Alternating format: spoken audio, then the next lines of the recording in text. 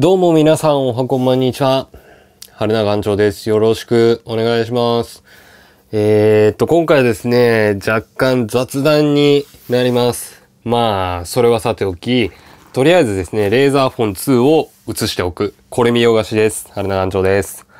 えー、あ、もう一つね、ちょっと手元にあるんで、全フォン2の、え、デラックスバージョンも映しといてある。はい。えー、ちょっとね、今回はお悩み相談というか、ちょっとどうすればいいかなっていうのを、ちょっと皆さんに、えー、ご教示願えればな、というので、えー、動画を撮っております。ちょっとなんか、三脚がずれてる気がする。えー、何を悩んでいるかというとですね、私、えっと、まあ、この度ですね、端末が、えー、純粋にですね、Android の、えっと、スマホですね。Android スマホの、えー、台数が実は20台を超えました。えー、なんならですね、えー、眠、それは実は常時稼働しているというか、まあ定期的に使ってやってるって部分も含めて20代なんですけども、えー、倉庫に眠っている端末も含めると25台近くあるということが判明しまして、えー、春菜さんちょっと頭をね、抱えております。なぜ頭を抱えているのかというと、えー、管理系どうすんだっていう風になってきたんですよね。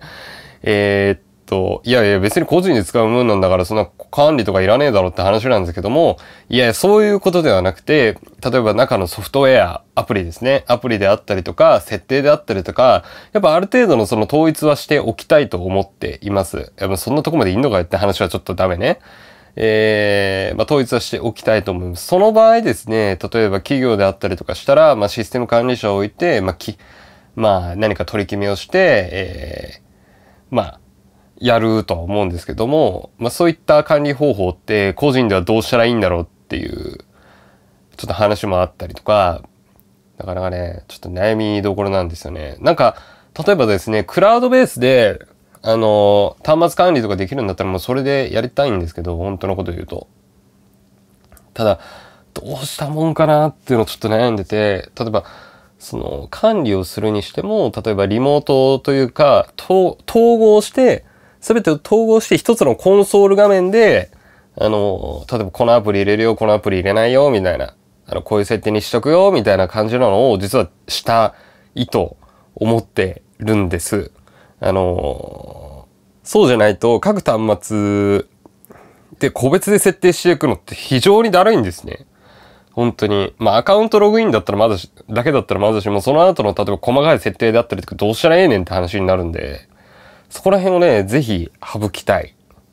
まあ、あの、端末売れよって話なんですけど、僕た、僕の可愛い子供たちなんで、もう売れないと。ちょっと、ちょっとやばいな。なんで、ちょっとそこら辺のね、管理の方式というか、メソッドについてすごく悩んでます。えー、まあ、もし私とですね、同じ、えー、ことを思っていて、えー、なおかつですね、はるなさんこういう方法あるよっていう、あの、お知らせというか、えー、なんかそういうレクチャーをね、していただけるのであれば、ぜひぜひですね、あの、レクチャーをしていただけないでしょうか。あの、切実です。あの、このまままたね、あの、30代ぐらい突破すると、えー、頭の悩みはすごく増えていくと思ってます。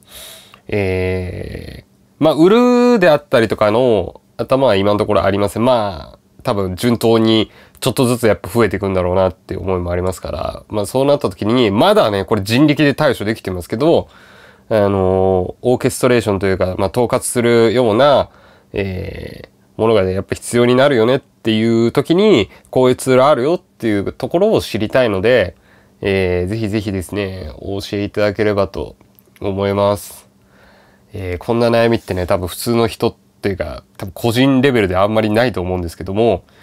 多分みな、皆さんってどうしてんのかなこういう場合って。やっぱあれかな端末ごとに、あれかないちいちセットアップとかやっぱする、して別にいいよみたいな感じになってんのかなでもやっぱめんどくさいよね、それもね。と思ってて、ちょっとどうしたらいいんだろうっていうちょっとご相談を、えー、した限りでございます。はい。あの、ぜひ私にですね、皆様の知恵をですね、ご教授いただければと思います。今日はそんな動画です。また次回のね、動画でお会いしましょう。春菜でした。バイバイ